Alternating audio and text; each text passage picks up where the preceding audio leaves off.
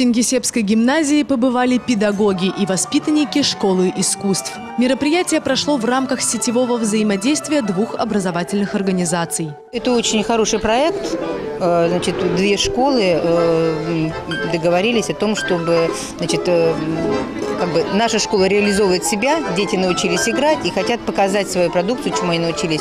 А другие дети будут знакомиться с искусством, с народным искусством, с русскими народными инструментами. Потом в проекте, что придут сюда и скрипачи, и э, пианисты. То есть это просветительная такая э, деятельность наша. молодое поколение должно не только хорошо читать, писать, считать, но еще и знать э, мир культуры. Вы посмотрите, какой интерес вызывает у молодежи сегодня открытие выставок, в том числе и музыкальных выставок. Вот сегодня мы решили, что э, эта идея должна быть продолжена именно в школьном возрасте, приобщить э, к миру культуры. Впервые состоялось внеурочное занятие, которое имело тему знакомства с оркестром народных инструментов. В зале царил русский дух. Это знакомство учеников младших классов с культурой, традициями, инструментами и музыкой. Соответствие теме наблюдалось во всем. Это и музыка, и инструменты, костюмы и прически. Даже само название оркестра «Россияне» несло гордость за нашу землю. У девочек э, мы обычно заплетаем две косички. А костюмы мы выбирали так, как мы э, русские народные инструменты, поэтому э, под флаг. Ребята, выступавшие на сцене, были примерно того же возраста, что и зрители. Их значимое отличие – творчество, музыка, духовное развитие. Именно этим юные музыканты хотели поделиться со своими ровесниками, познакомить их с инструментами, заинтересовать и предложить им присоединиться к творческой жизни. Когда нам сказали, что мы поедем на конкурс, мы стали намного чаще заниматься. На выходных. Э, На выходных приходить, сами занимались. Э, Иногда Фаина Юрьевна даже не знала, что мы занимаемся. Вот. Мы собирались, играли, а потом, чтобы ее порадовать, э, лучше играть.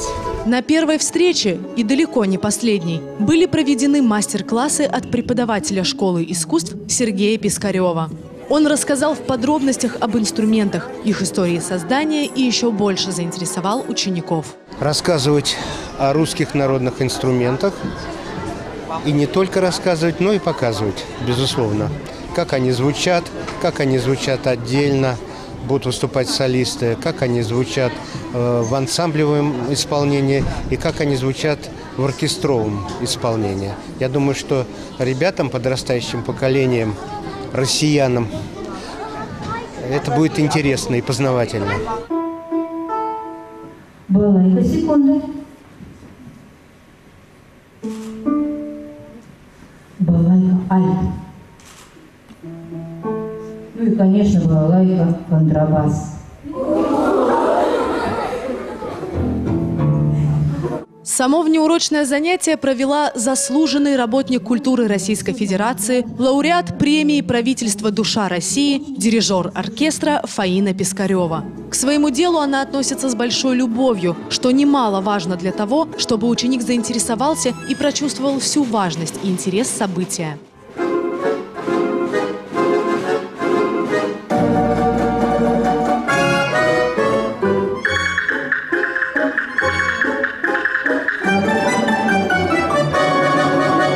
Занятие закончилось, цель достигнута, и все остались довольны. В рамках этого сетевого взаимодействия в дальнейшем планируется цикл музыкальных образовательных встреч, мастер-классов и концертов.